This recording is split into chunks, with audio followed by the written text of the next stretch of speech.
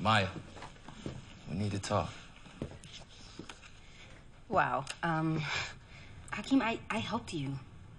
And you're still coming to me about annulment offers? You are incredibly selfish.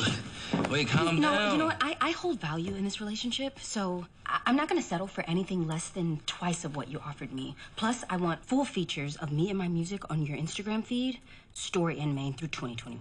Calm down. Look, Young Hakeem Lyon's soulful, stirring performance.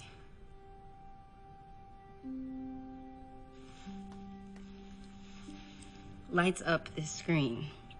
He's an early contender for next year's Best Actor in a Comedy or Musical at the Golden Globes. I got it from one of the reporters at the party.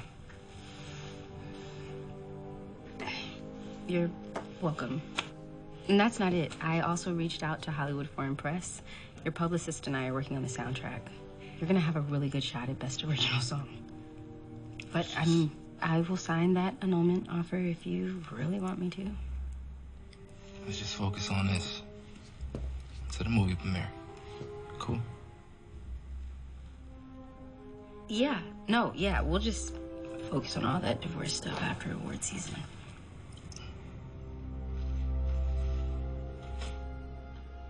Um, congratulations.